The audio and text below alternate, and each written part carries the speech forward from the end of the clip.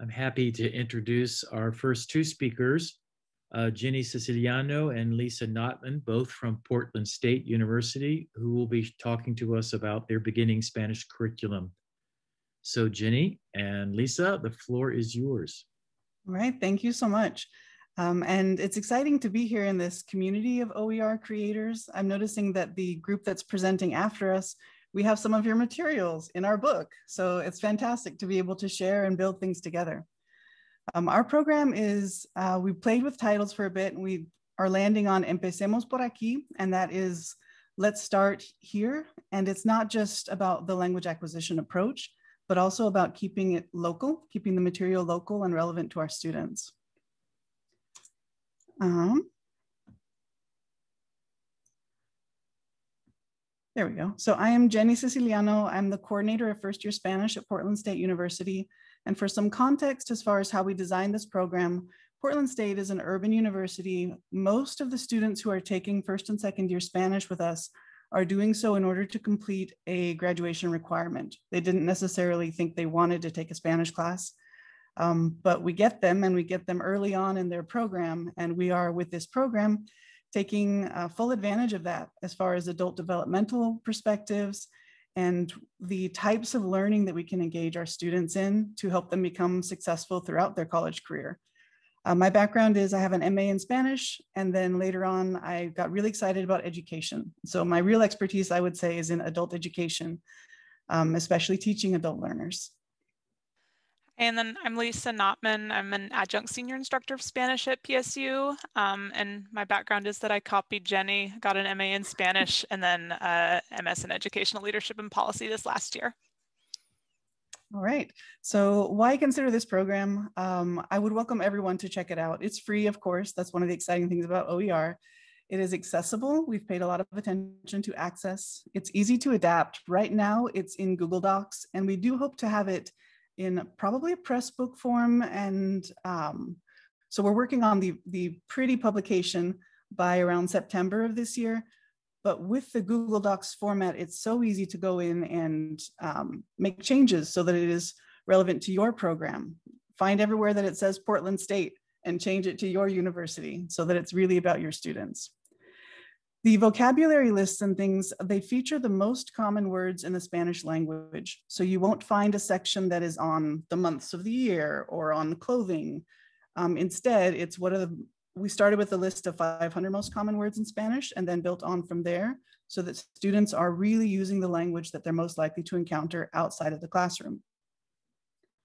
It's also structured around topics that our students would naturally be speaking about a lot of our students are interested in travel, but travel isn't necessarily the first thing on their mind. Um, we serve a lot of um, lower income students, people who are generally going to be speaking about topics that are close to them, things that really matter to them. Um, so we took out the conversations about travel agents that you would have seen in previous textbooks. Much of the material is student generated, making it always relevant to your students. So often the assignment students will do send them on a, a task to figure out how to say something that matters to them. And then they bring that knowledge to the, the next class. So we have general topics, and Lisa will talk about that in a minute. But within those general themes, students are bringing um, their own perspective to it, tweaks to it that make it matter to them and relevant to them. It introduces students to the Spanish they will actually hear we have a lot more authentic recordings and articles. Again, thanks to all of you wonderful OER creators. Um, a lot more authentic recordings than we would have been able to have in previous books. We definitely have some that were created for Spanish learners, so some that slow it down, some that even highlight specific grammar, but most of our materials, I would say, that are recordings especially, are actual native speakers. Um, a lot of them are me also, and we're working on, on switching those out. We're planning on hiring some of our heritage students to make recordings, voice recordings, so that people of color can be compensated for their expertise and their labor, but also so that there are fewer voices like mine and more of that variety of diversity of voices that is so important. It also explicitly coaches students on development of interpretive, interpersonal, and presentational communication skills. Um, so it's ACTFL friendly for those who are building their programs around ACTFL principles. It encourages students to engage and experiment without fear of making mistakes. It's carefully scaffolded though to set students up for success and coaches students on what success looks like. So we do really drill into students that it's not so much about accuracy, it's about communication. Successful communication can have a lot of mistake, mistakes in it. Uh, we definitely wanted it to center student voice, and it does. But in addition to that, it includes over 100 OER resources with other voices, which have been carefully selected to represent diverse perspectives. And it was simultaneously created and implemented. And that was a nightmare when we were doing it. But the result is that we were able to design activities that align really well with our real students. So as we were teaching 101, we're staying a week ahead of our students, creating materials for these 101 students and moving forward. There are a lot of language acquisition textbooks out there. So what we wanted to do with this program, what I think makes it unique is that it is more than language acquisition. An elementary level of language proficiency does not prevent us from engaging in meaningful work toward goals of diversity, inclusion, equity, and access. Students in our first year program critically reflect on their own intersectional identities, multifaceted communities, and cultures. Students share their own beliefs and experiences and learn from their classmates and the program materials. Program materials center student voice, as well as authentic voices of underrepresented groups, including women, indigenous peoples, Spanish speakers in the US, um, heritage speakers especially, Afro-Latinx, LGBTQ folks, and people with disabilities. So voice was key, voice and representation. We felt that was a gap in the current materials that we were able to find. Students develop greater self-awareness, consider social issues through a race and ethnicity lens. And despite the limits of language at these beginning levels, so yes, students are not able to express it using very advanced language, but they're able to engage with these topics. And I think that was a missed opportunity in previous materials. Students explore and discuss the impact of power inequities on marginalized groups in both historical and contemporary contexts, within their own communities, and within Spanish-speaking communities, locally, nationally, and internationally. Students conceptualize and discuss both systemic and individual change with attention toward racial and social justice. So it was, it was a big goal and we've been teaching with this since fall of 2019. And so far it's going wonderfully. I think Lisa then has some examples. Yeah, so a big part of this program was that we wanted it to be really flexible. Um, we wanted the conversations that we wanted to have with students to drive grammar acquisition and not the other way around with this grammar goal and then really forced conversations to meet that goal. So we tried to create broad topics, which meant instructors could be responsive to their unique student group and current events. And here we have the chapter list. So chapter, we're on quarters, so two chapters per quarter. Um, so we start with La clase de español y las personas y las perspectivas, and students are doing a lot about self-identity and community identities in those two chapters. Uh, chapters three and four, we talk a lot about culture, um, where students start examining their own culture and then move on to others. And then talk about routines, about how the way that our routines reflect our values, things like that. And these broad contexts, these broad topics really give us flexibility. So whenever our routines totally changed because of COVID, we weren't stuck doing these really um, repetitive activities that had nothing to do with our student, our current student routines, we were able to change the conversations and talk about, well, how has your routine changed since what was going on a month ago? How has your routine changed this year? And then finally, in the last quarter, we talk about uh, past experiences. We talk a lot about discrimination and uh, racial issues in this chapter, and then move on to changes students want to see for the future, which was super relevant um, in Portland last year when I was teaching 103, and we had Black Lives Matter protests and all of these things going on. So again, we're giving students the chance to have grown-up conversations that they like and letting grammar acquisition follow the, the needs for those conversations, um, which I have some more examples on on the next slide. Um, so a big part of this is that our students are adults, they have valuable experiences and they have really great insights about the world. And so we wanted to create a textbook that allows them to show off that expertise. Um, so here we have an example from the textbook at the beginning of chapter two, asking students to explore parts of their identi identity. And students are given the chance to self-select what identity markers are important for them. Um, and then be able to talk about it in class.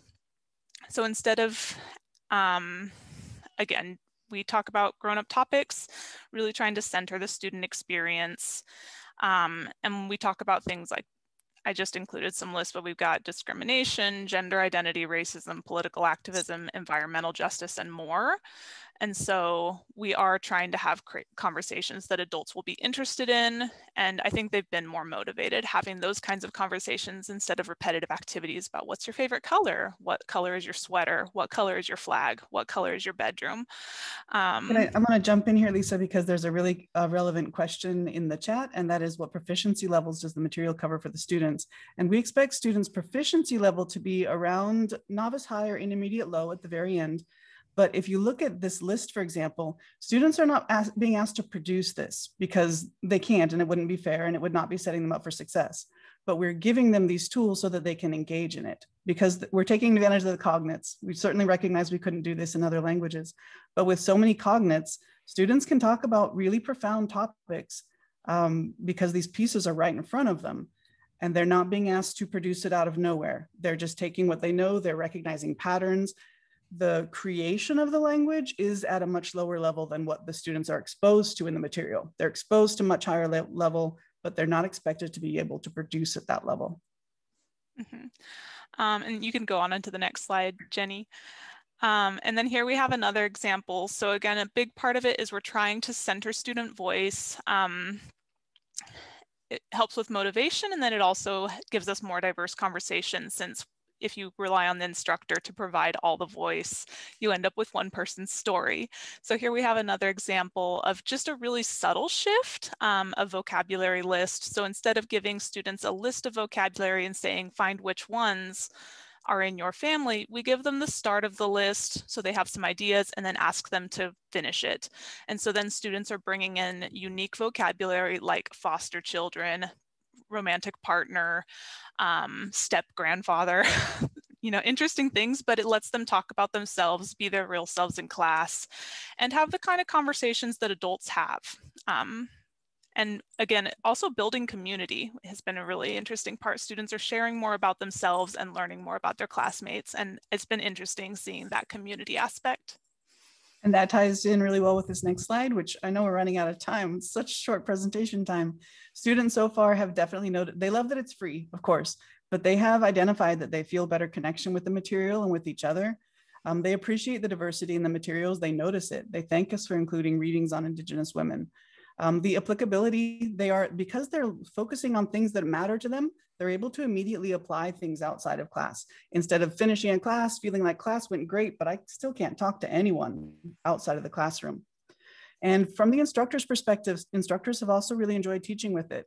They have noticed increased engagement um, students. There's a question in the chat whether the classes are online and face-to-face. -face. Right now they're remote. Um, generally we have them, we have an online version and we have um, an in, in a face-to-face -face version. Veronica, who commented in there, um, does the um, does our online version. So she would say that it also works for online. Students have better self-efficacy. They're um, reflecting more persistence when they encounter unfamiliar material because they're seeing so much that's unfamiliar and they're learning the strategies for engaging with it. And from an instructor's point of view, feeling proud that we get to work with this material that matters. Um, so we have a link to the Google Docs version, which I believe Lisa did put in the chat already. And you can certainly email me. I did add my contact information to the contact list for this, so please do reach out. And again, we're planning on full publication in September of 2021, this year. Thank you.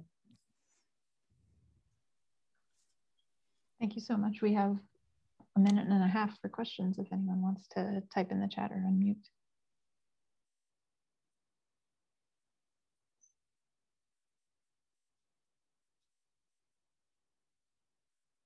I mean, I can keep talking. It's pretty exciting. it looks great. All right. Well, thank you very much. And thank you to the group that's about to talk for your lovely materials that we were able to draw from also. Oh, funding is a question. We did initially get a grant through the Portland State University Library.